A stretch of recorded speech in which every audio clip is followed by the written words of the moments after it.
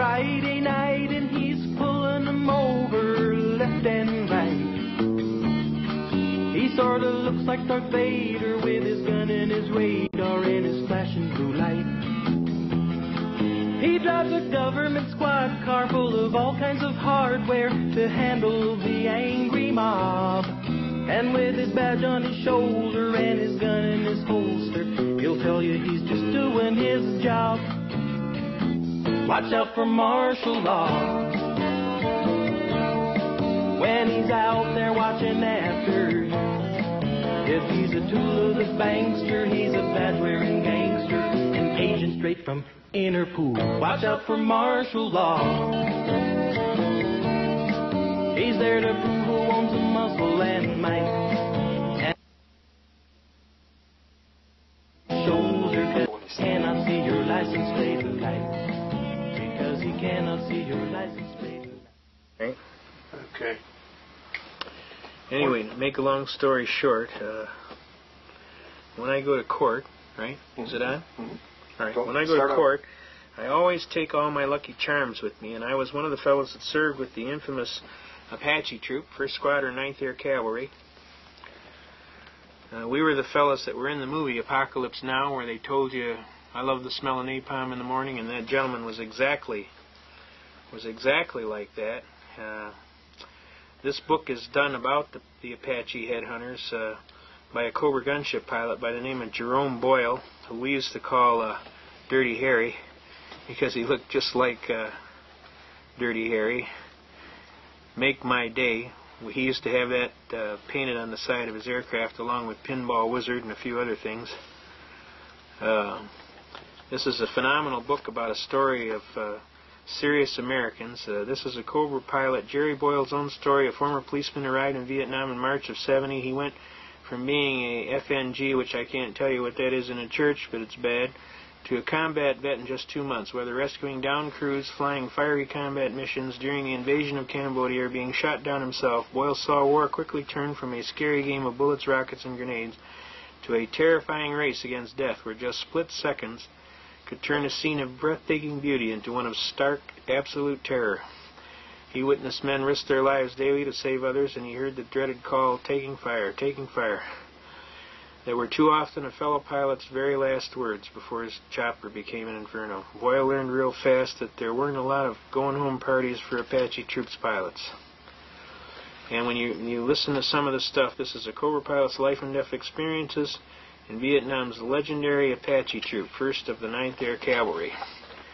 This pilot was the recipient of, uh, he was a California native and former policeman of Ventura, California. Among the medals and decorations awarded to him for his service, and this was kind of typical of most of the people in this outfit. Silver Star, three Distinguished Flying Crosses, five Bronze Stars, two Army Commendation Medals for Valor. He now works as a pilot who flies in support of offshore operations. He lives in Andrea. He lives in uh, Ojai, California, with his wife Andrea of 20 years. And to read some of the stuff about this is absolutely phenomenal. Some of the things that get involved, I'll just read you the, a closing part of this thing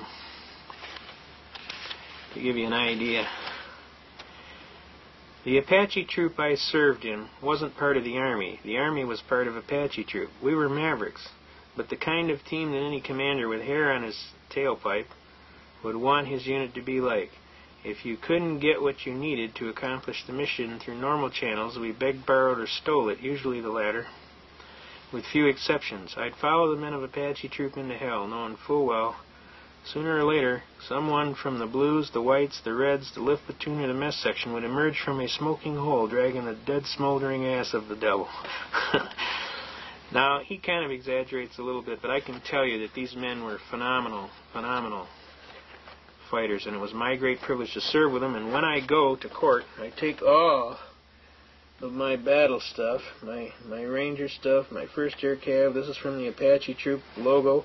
There's my flight wings, the actual ones I wore. This is the first of the ninth logo that was put on the nose of all the aircraft. There's the first. There's first 75th Infantry Rangers. I have my uh, duty honor country uh, coin from the uh, MacArthur group of people. It's a special group of people that defend the Constitution. It's a silver coin that's given as a serious Defender Group Memento. This is MacArthur, and it's solid silver. Then I got all my Ranger jump stuff. I put that on there. I take my strike like lightning, sound like thunder, all my Ranger stuff that when I was in the Rangers. And I take my first air cavalry when I was in Cambodia because I was with these boys in Cambodia and Loc Ninh. My Apache troop. That's right off of our shoulder patches from the Apache troop, the original one. I was with the Take My Detroit Judo Club. This is a patch they give you for running 50 miles to save your life. You got a certain time to do it in. They give you a bootlace and a pocket knife, and if you get caught, they put you in a POW camp and treat you like a prisoner. So it's like you got 12 hours to run 50 miles, or or you go to the POW compound and they treat you like uh, a POW. They hung my buddy up in a pit full of poisonous snakes upside down for about a day or two. And then this is my other patches that I wear from, from Vietnam and Special Operations Group. I flew in support of Bo Gritz in Cambodia. We used to deliver their supplies. I got my my Ranger belt buckle. All these are mementos of a program. My Bronze Star medal. My I have 33 of these air medals. I got five of these Bronze Stars. I got a Distinguished Flying Cross, Vietnamese Cross of Gallantry, 33 air medals. Shot down four times, left for dead twice, walked out of Cambodia with two regiments on my tail feathers. This is the SOG Special Operations Group MAC-V that we flew in support of uh, Bo Gritz in Cambodia and the Cambodian operation. I was one of the special air crews that was selected personally to fly the infamous Marine sniper in Laos to shoot that general at 800 yards. I was one of the guys that flew him in and we wear the wings of eagles. We support the National Rifle Association totally. You know, we ain't fooling around. We want our Constitution. We want our Second Amendment. I am a member of Vietnam Veterans.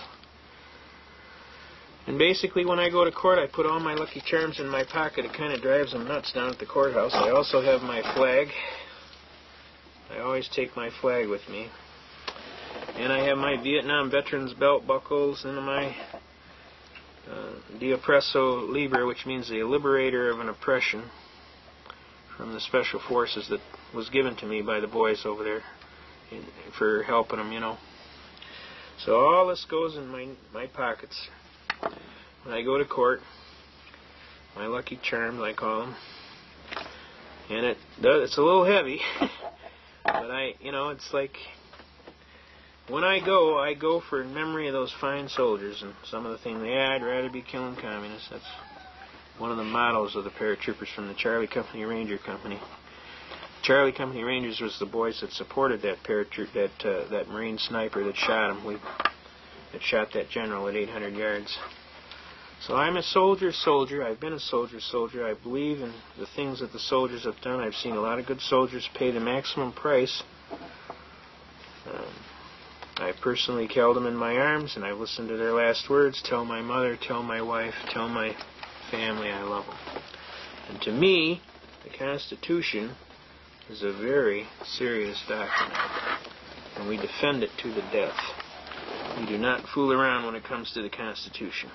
I've been doing it for 25 years. I am a graduate of Project Blue Book, the special project. I also take my harmonica. I have a harmonica. What, what's the special uh, Project Blue Book? Blue Book is where they pull their soldiers aside and taught you the Constitution. And I always take my harmonica and I give them hell. Give them the.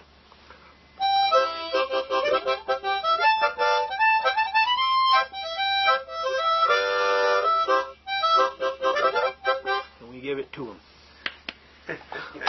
Tell your Southern Air Transport story. Yeah, well, we uh, we were flying interdiction along the Cambodian border, and we come up on the door of these uh, B model Huey. It was a smaller Huey, and it was uh, painted blue and silver. And uh, all along the side of the tail boom was white uh, powder. And uh, I informed the aircraft commander, and he told me he was hailing them on the hailing.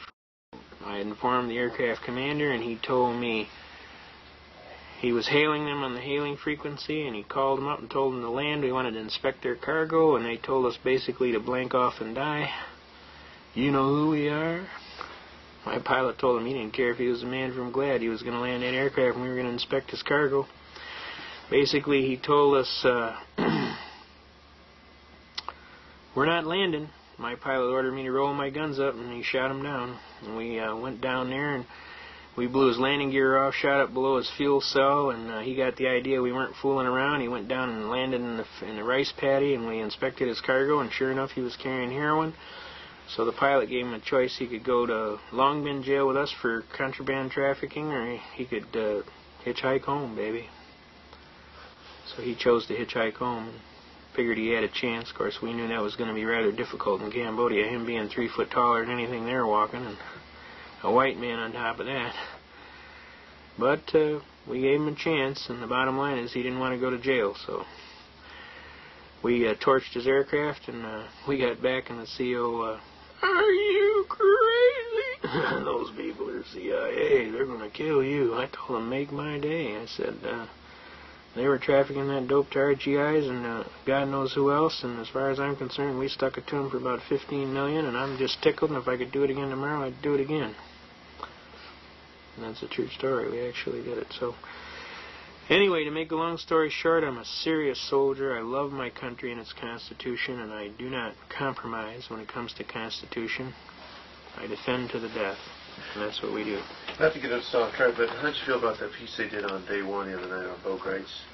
Uh, I thought it was kind of a little biased myself. They tried to paint him as somebody who's uh, setting up uh, another Waco, Texas, and uh, uh, that he was going to be one of these cultist type things, and uh, I, I didn't think they really played fair with the man. I, anybody who knows Bo Gritz, he's the most decorated soldier in the history of the United States. He's a very congenial gentleman.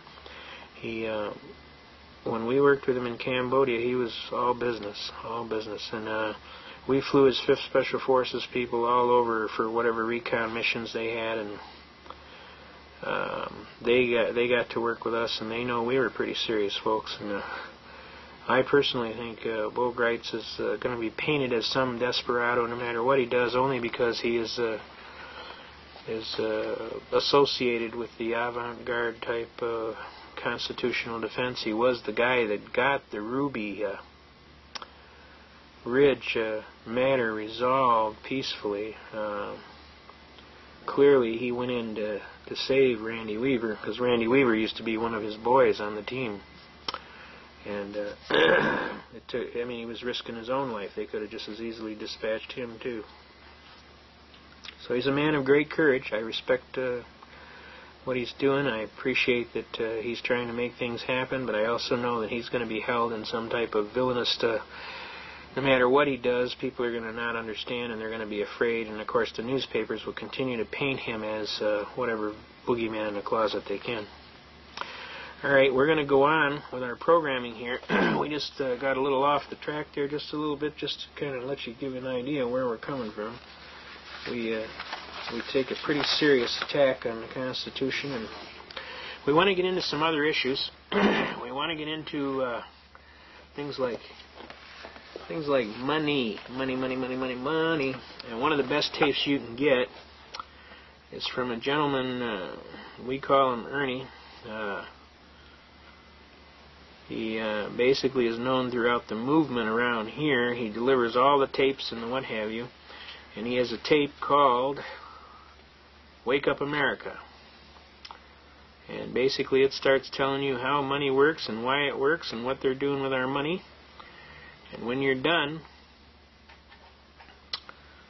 you really understand what's going on. But we want to share some things with you about the money. And we got a good story to tell you, too. But basically, we want to share with you right now in Michigan, the Michigan Compiled Laws programming. Can you see over there? We want to share with you up, up and to the left. All right, back. All right, we're cool. We're it. All right. 21.153 Michigan Compiled Laws Act. Obligations due state or municipality and date operative when paid by check or legal tender. Whenever any check or bank draft shall be tendered for the payment of any debt, taxes, or other obligation due the state or to any Municipality therein, such check draft shall operate as a payment made on the date the check or draft was received and accepted by the receiving officer. If it shall be paid on the presentation without deduction for exchange or cost of collection. All agencies of the state of Michigan shall request that checks tendered in payment of an obligation due the state shall be made payable to the state of Michigan. No receiving officer shall be required to receive in payment of any debt, taxes, or other obligation collectible or receivable by him any tender other than gold or silver coin of the United States, the United States Treasury notes, which you can't get today, gold certificates, which you can't get today, silver certificates, which you can't get today, or other Federal Reserve bank notes. And there's no bank notes in circulation. There's Federal Reserve notes, but there's no Federal Reserve bank notes. Now, the reality is, by this fact, you are specifically precluded from tendering lawfully without being a party to a felony, that of debasement of the coin of the realm against the 1792 Coinage Act, the Sherman Coinage Act. So Roger Sherman wrote a book about this, and it tells you all about coinage and the debasement of the coin of the realm.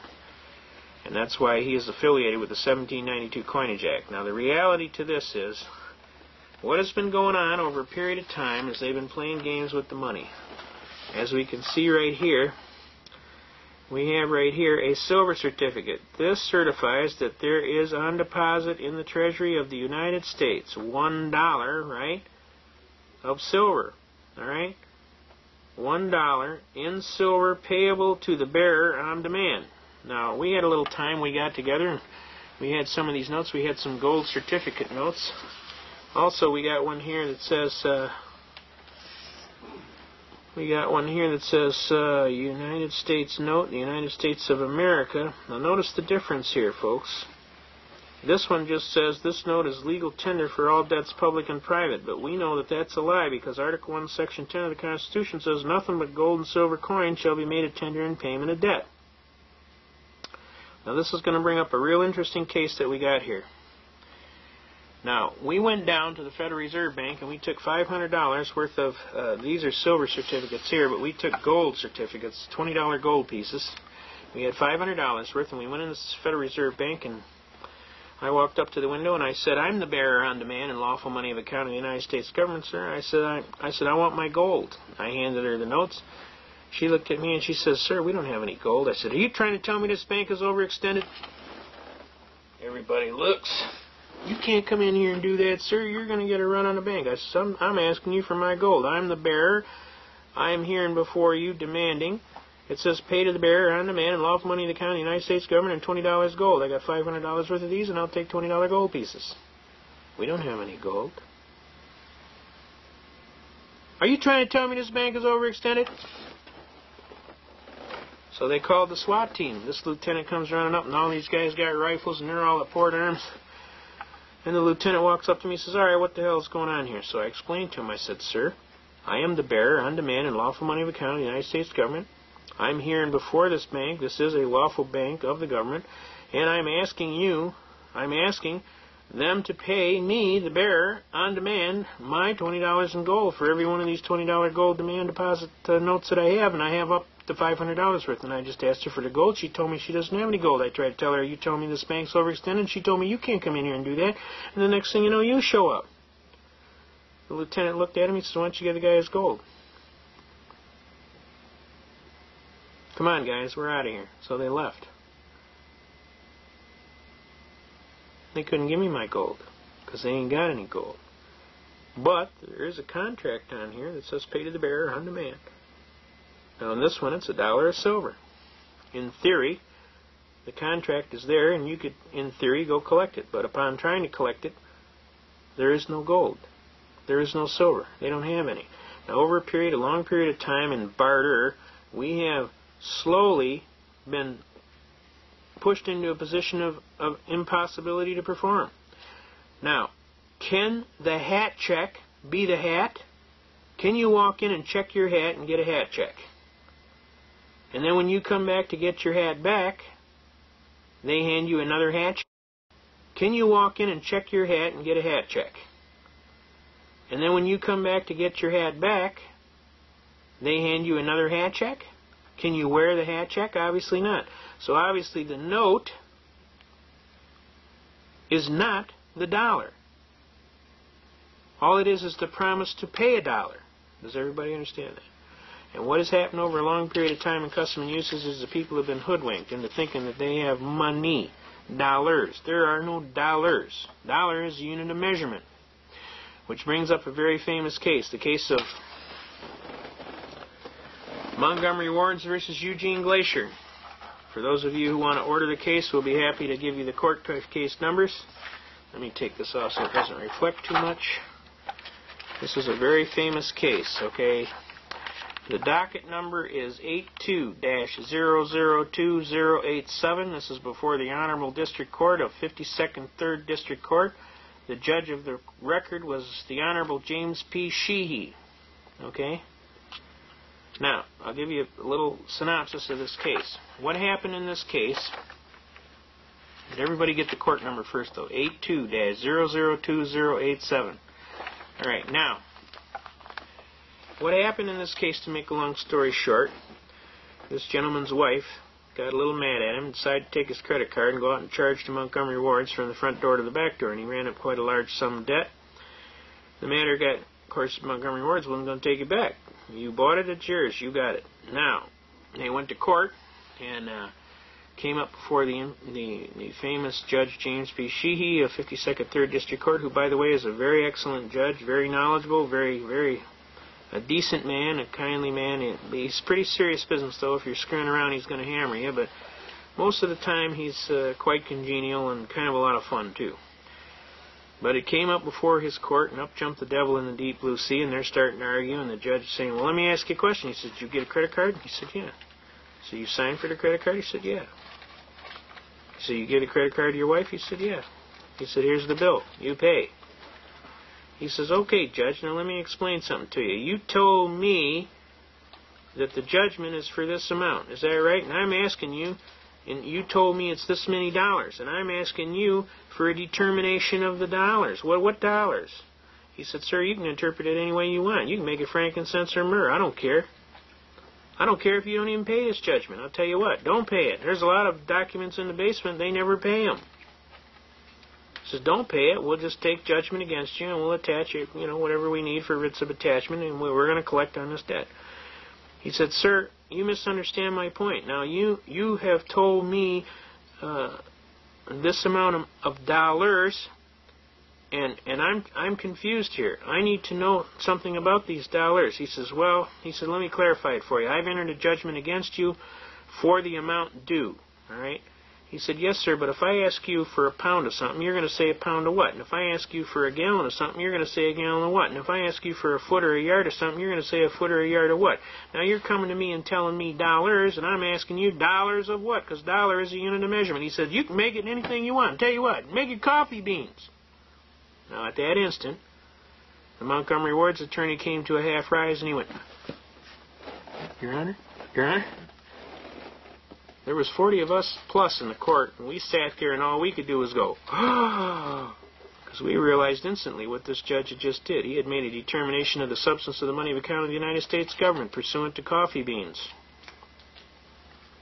With great courage, the Honorable Judge James P. Sheehy had made a determination that the substance of the money of account of the United States government was coffee beans. That's what we told the Wall Street Journal and all the newspapers and television stations that would listen. He was most upset about that. Instantly, the judge looked across the room. We're all sitting with our jaw on the ground. and he leaned back in his chair, flipped his pencil in the air, and he said, Ah, S with a hit on the record. He realized that a landmark Michigan court decision had occurred. He realized that Montgomery Wards wasn't going to say nothing. Because they won. They, they ain't going to appeal. They won. They, what are they going to appeal? You won? You won. You won? You won. There's nothing to appeal. We weren't going to appeal because we won too. We got the judge to make a determination that the substance of the money of account of the United States government was coffee beans. You can see in the back of this book here, Mr. Glacier took the judgment right here. And this was for 1,098.97. He did it in 100 bean bags certified, one bean to the dollar, and 97 100. So we cut the tip of the bean off, painted a white line on it. He sent it to Montgomery Wards We got it on there? Mm-hmm.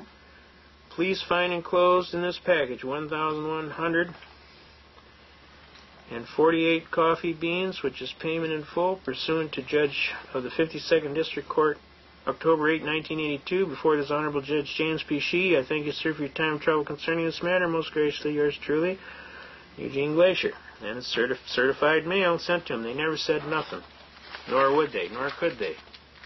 He honored the stipulation of the judge. Okay? Now, to this date, this gentleman comes to court with a big red bag, marble bag, full of coffee beans that he's got stenciled on the side, Jean's Beans. I'll read you the last statement. It's just kind of hilarious. You, it's pretty good. He's asking for a determination of the substance of the money of account. I'll read you about the last three pages.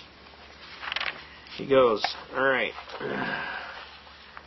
Therefore, really, out of his own testimony, it seems to me that judgment really is unavoidable in that amount. Thank you, Your Honor, the court. Anything else, sir? You have the right to a closing argument, Mr. Glacier. Only that I don't think I received a fair and equitable trial here today, the court.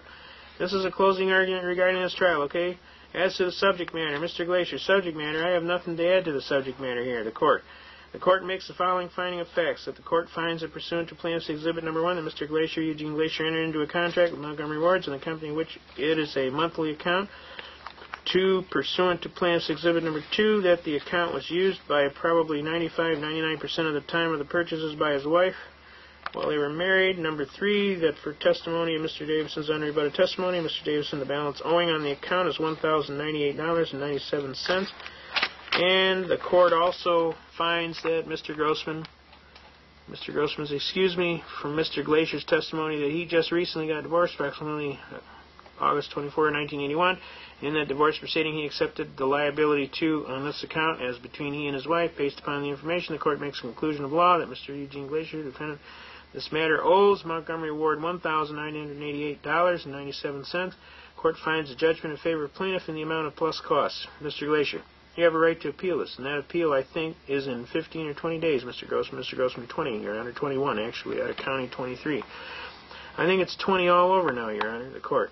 I think it is. It used to be 15 on some cases and 20 on others, and I could never keep it straight. But I think it's 20. You have a right to appeal in 20 days. If you appeal, let me explain to you how you do that. You have the file with the court the circuit claim of appeal. Are those the ones that are marked by the way those exhibits? Mr. Grossman, oh yes, sir, Your Honor, that's right. The court. We better keep those. You can give him a copy of the other ones. By the, by the way, you, you can file a claim of appeal with the circuit court in this court. You also make a request to the court stenographer for a copy of the record. A copy of the record must file within a certain amount of time that you can tell you you must file, as I say, a claim of appeal, and then you have a certain number of days after that to file your appeal. Okay, claim of appeal is nothing more than a little form. I hereby claim appeal. Okay, so but some but the court clerks can give you more information. But if you don't file an appeal within 20 days, you've lost your right for an appeal. Any other questions before the court recesses? I'd still like to have a motion for a more definite statement. Dollars of what? Am I do I owe the court dollars of what? The court. The court has made. Now this is this is after he had already told them dollars of what before, and the judge told him frankincense and myrrh, and then he kept hammering away at this dollars of what, and the court lost its cool. The court has made a judgment of one thousand ninety-eight dollars and ninety-seven cents, and however you interpret that, sir, if you want that in coffee beans, that's okay with me, really. Okay, thank you much. And at that point, we all went, ah. And he went, OS with a hit. he realized he threw his pencil up in the air. Now, this is a magnificent case and an example.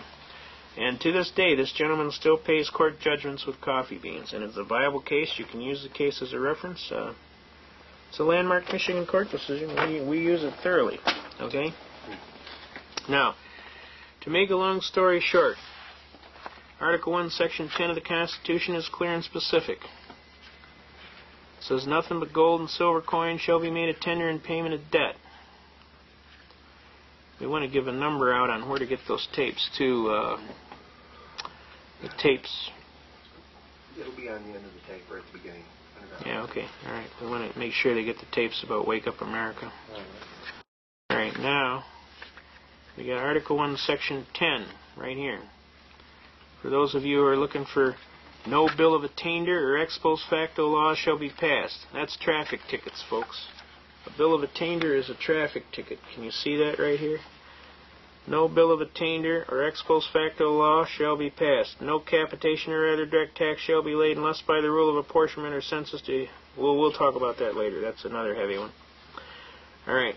But Article 1, Section 10 is basically no state shall make anything but gold and silver coin a tender in payment of debt. Right here. No state shall enter into any treaty. Oh, wait, no, that's not right. Article 1, Section 10. Section 8. It's Article 1, Section 10. No state shall make anything but silver coin. It's on the bottom of the page. All right, where's that? Oh, that's 9. That's why. Article 1. No, that is. It's bottom of the page.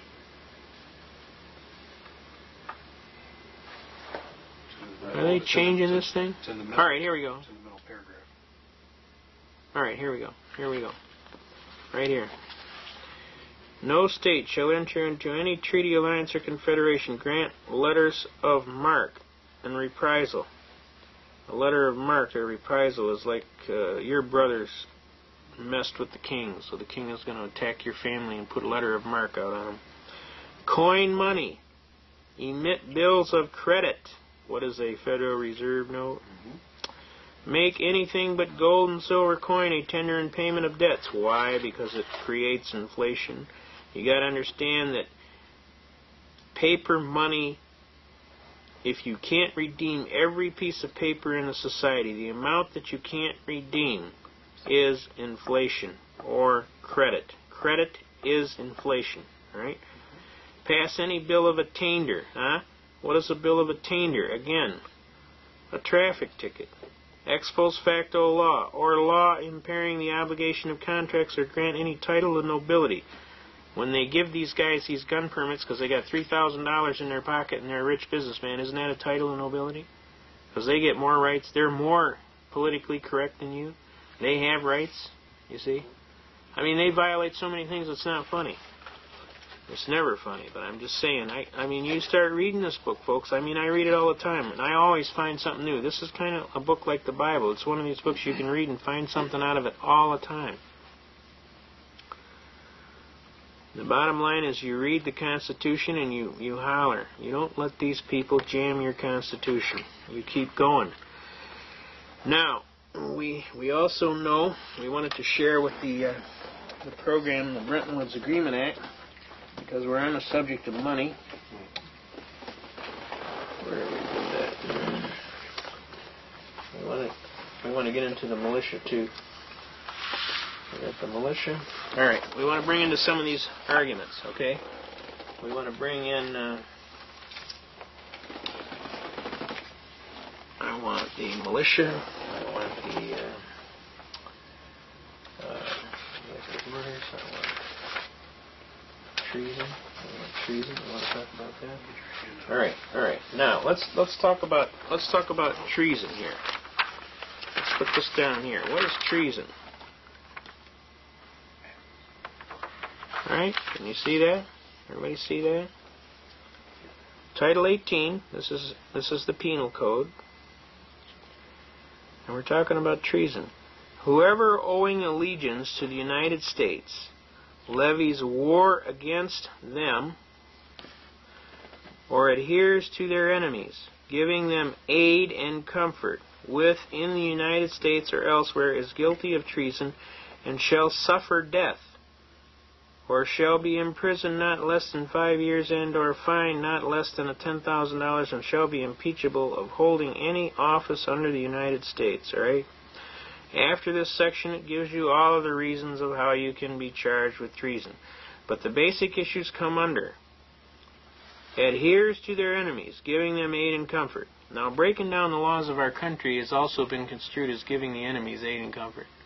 So if they're violating their oath of office and they're not upholding the Constitution, that is treason. Because in so doing, they create anarchy in the land. And in that, they aid the enemies of our country. Does that make legal sense to you? All right, now let's talk about some of the things that are going on in our country. let's talk about them. Let's talk about. Uh,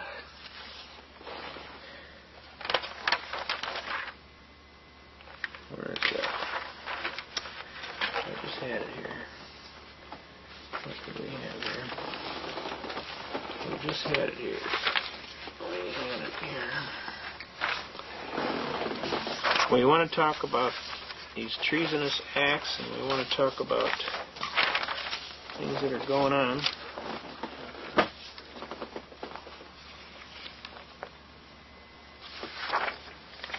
This is the militia.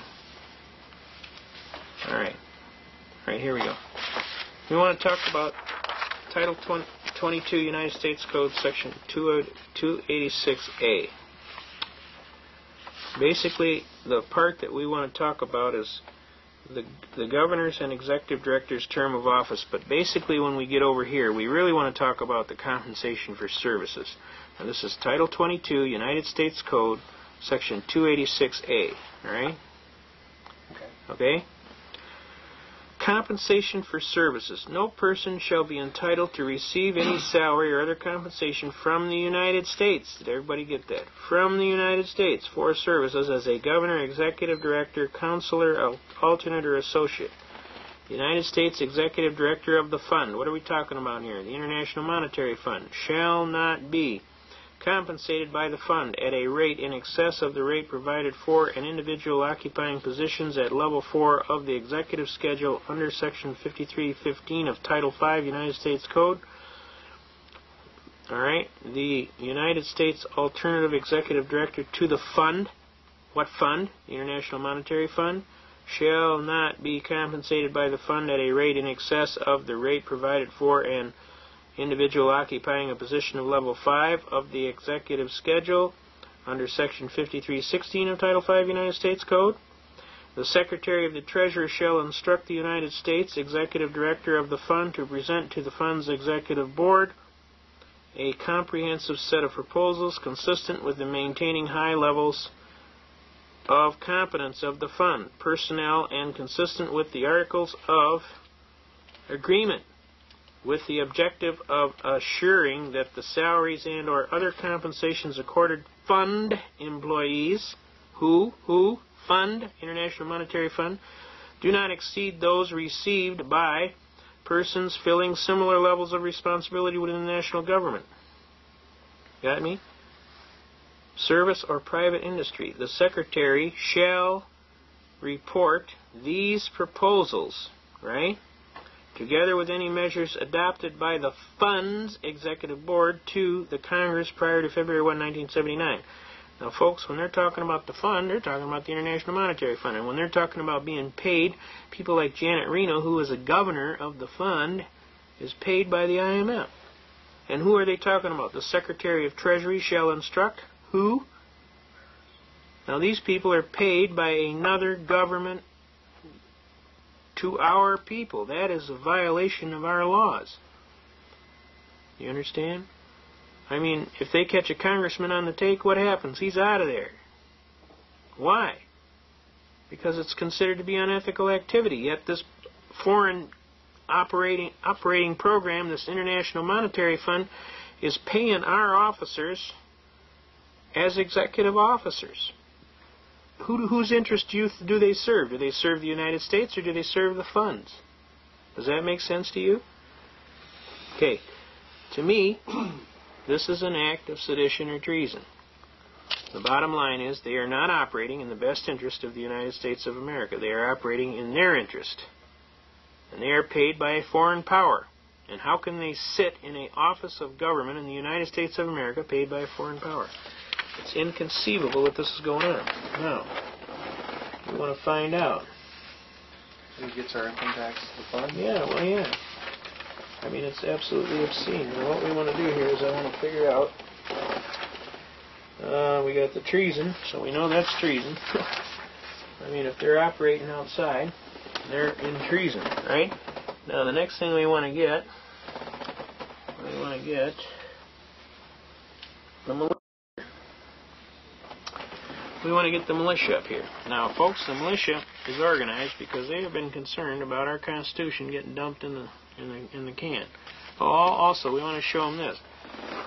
These concurrent resolutions here expressing the sense of the Congress regarding the need for the President to seek the Senators' advice and consent to ratification of the United Nations Convention on the Rights of the Child.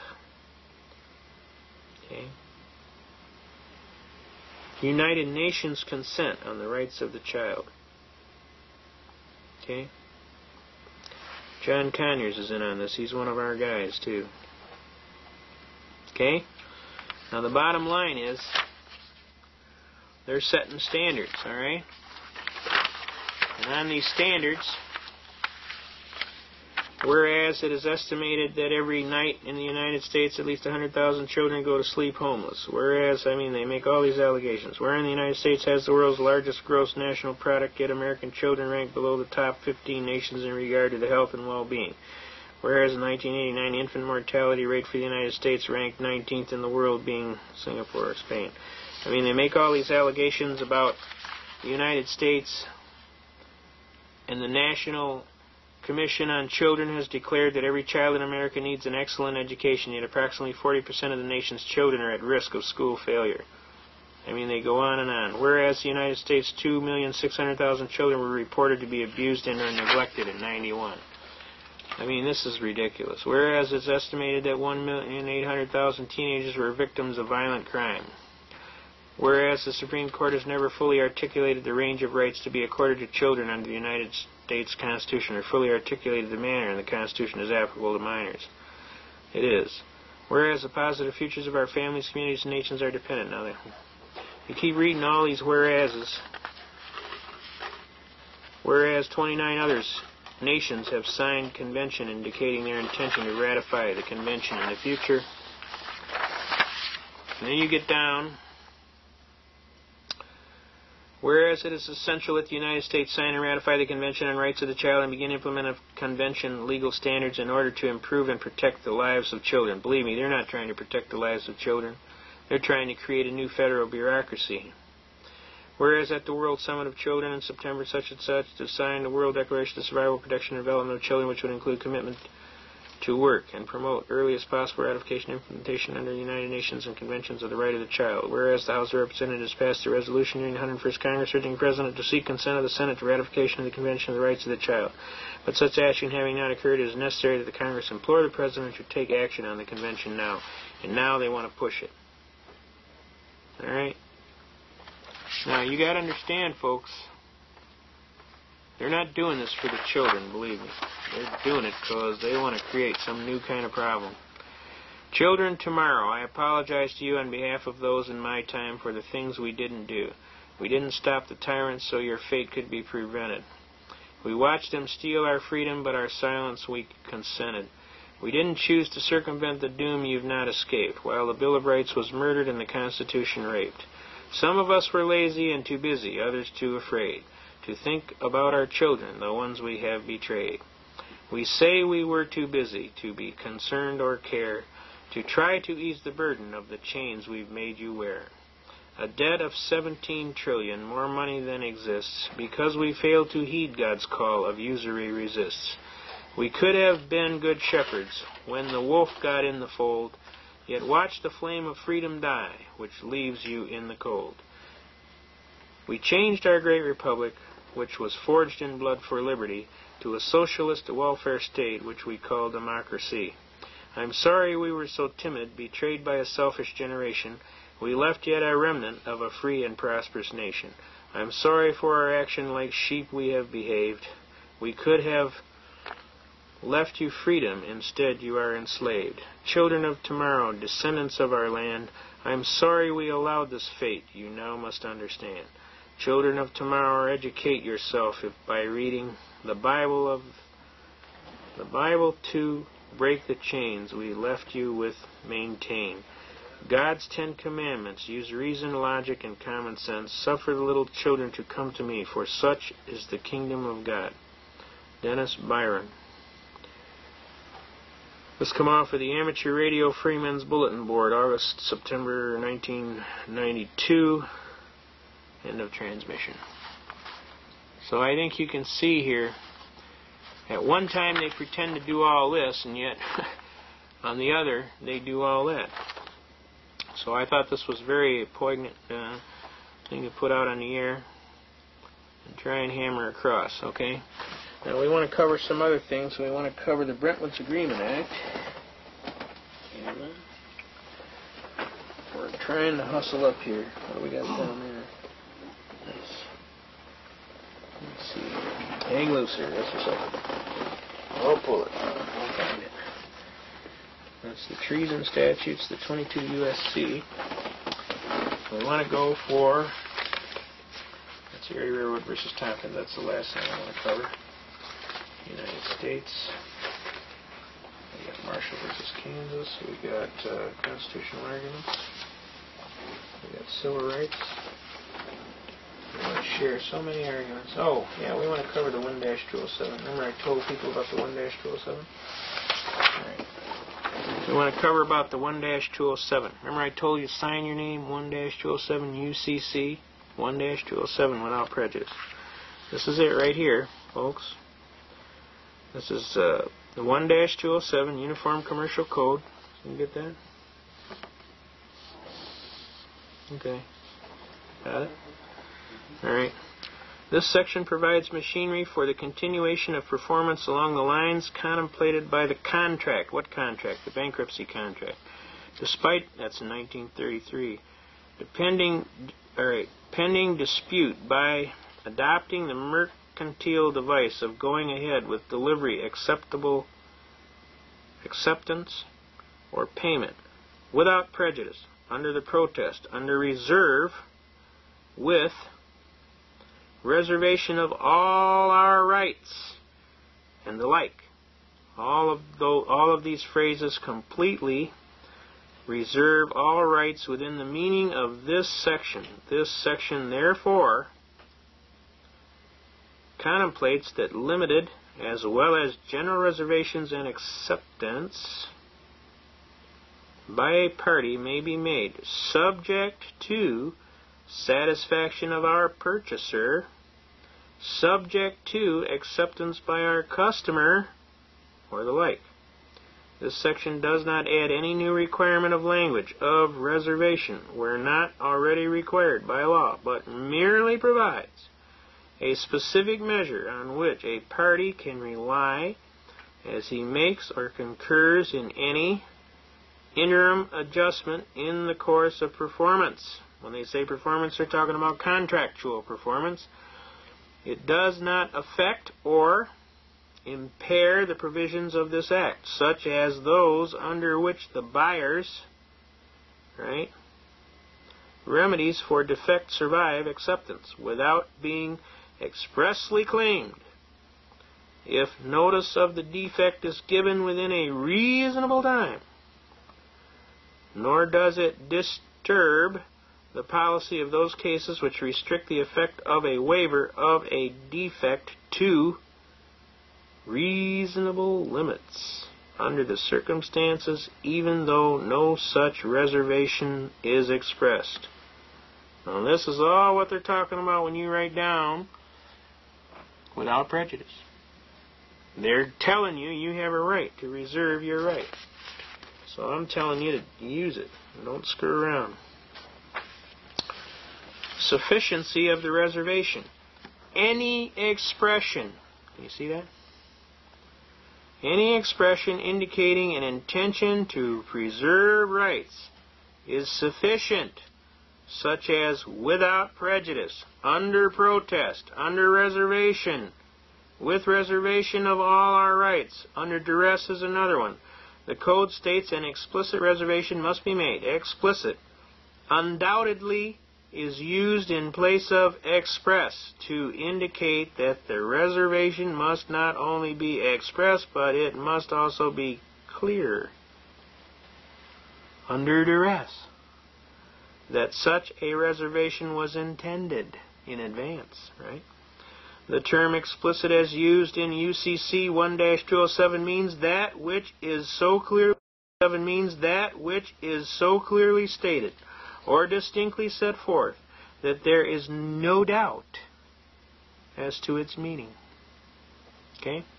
Now that is the reservation I want you to claim. I want you to screw around. I want you to use your head for something other than a hat rack. Because I'm telling you, You just do it, too. Just don't it. Yeah, just do it. Go for the side of the hand. Yeah, you don't tell them nothing. You sign it and you walk out. When they ask you what that is, just say that's something I put down on my signature every time so I know it's me. Okay? You, you're not. If they say You didn't learn all this stuff overnight, and you, you're not going to give somebody these classes overnight. Believe me. If you think you're going to teach somebody this stuff all night, you're dreaming. It takes a long time of serious study to get to the level of where you're at. And you're not going to deliver that to anybody overnight. So my sincere advice is don't try and do it because it ain't going to happen in your lifetime. Just sign it, do what you're supposed to do. If people want to listen, then you let them listen. If they don't want to listen, then you say, oh, well, I knew that. Okay? Now, let's go on here because I got a bunch of stuff to cover and we're running out of time. All right, what do we got here? All right, we want to cover the militia. There's a lot of people you're hearing talking about the militia. I want to get the Bretton Woods Agreement Act too, if we can. Let me see here. I know we had it. Oh Lord, this is the hard part, keeping track of everything. Okay. All right, we will find it. I promise you that.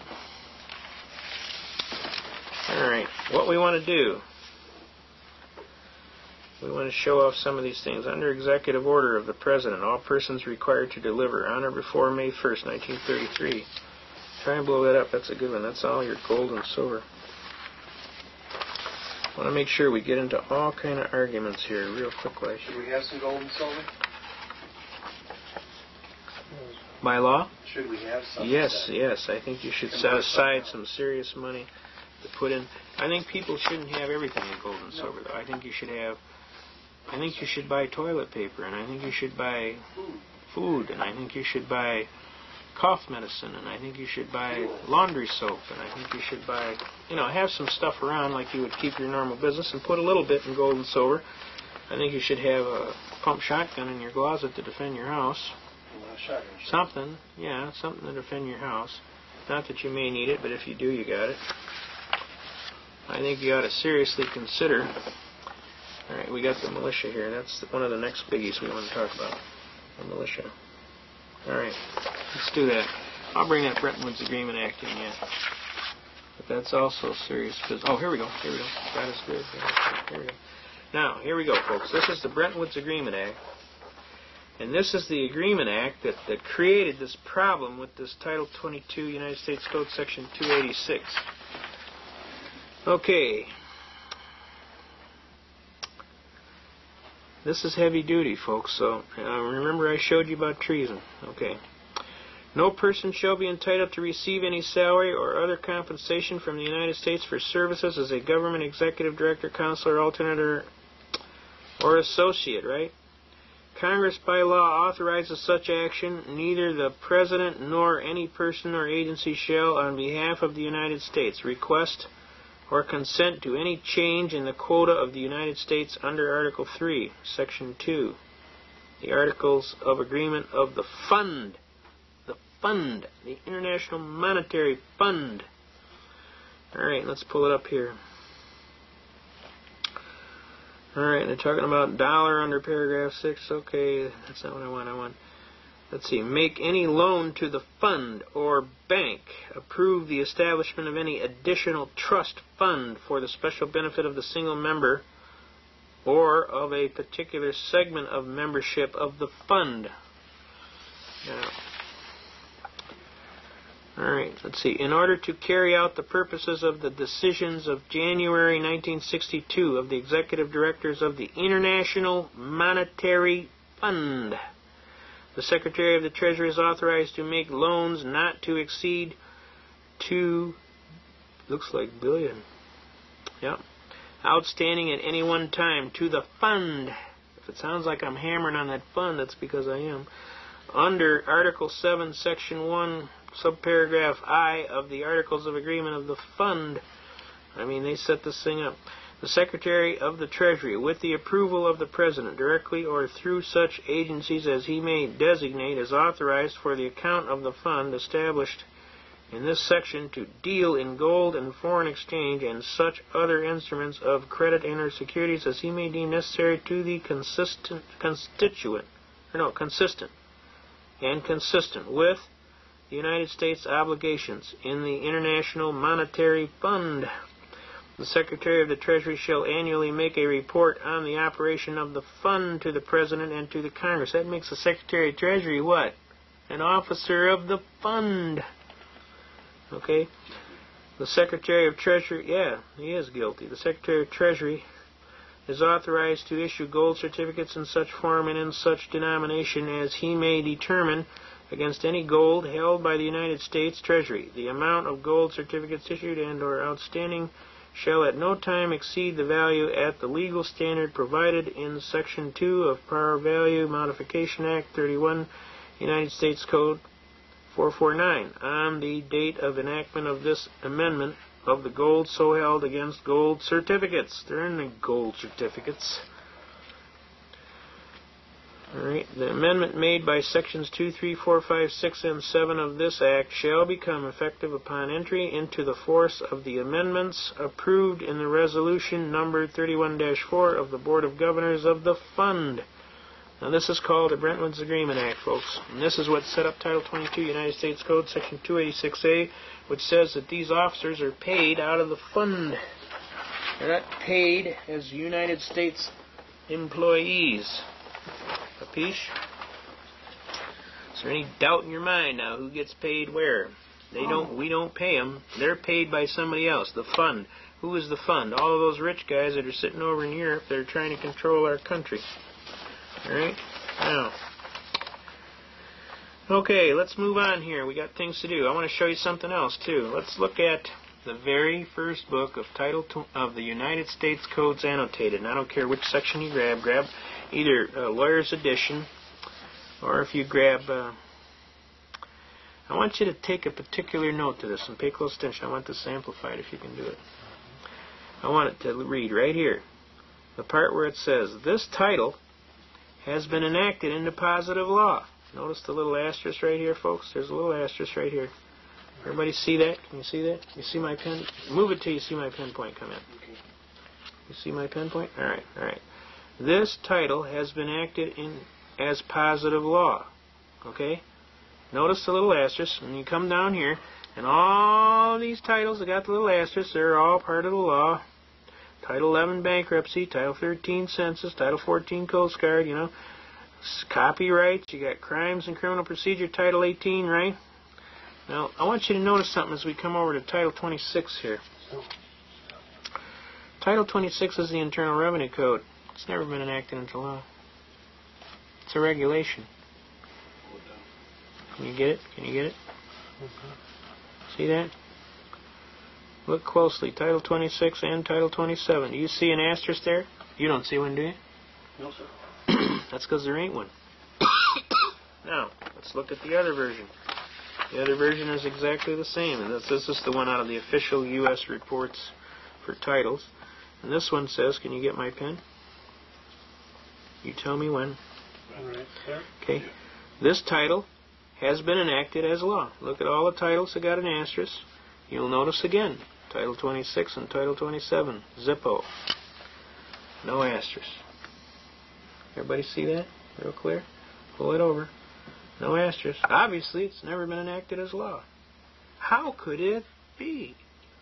I'll tell you how. We got a case over here called Erie Railroad versus Tompkins, and I'm going to bring it to your attention. Erie Railroad versus Tompkins is a magnificent court case. Basically, what this court case did,